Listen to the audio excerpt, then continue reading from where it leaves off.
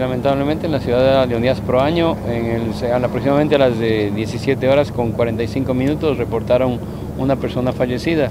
Al momento las unidades se encuentran en el lugar haciendo las verificaciones juntamente con personal de criminalística y DINASEB, tratando de verificar la identidad de la, de la víctima y levantando los indicios que eh, posiblemente podrían estar en el lugar. Están justamente haciendo la verificación del hecho violento, hasta el momento no han reportado ningún herido, las unidades se encuentran en territorio.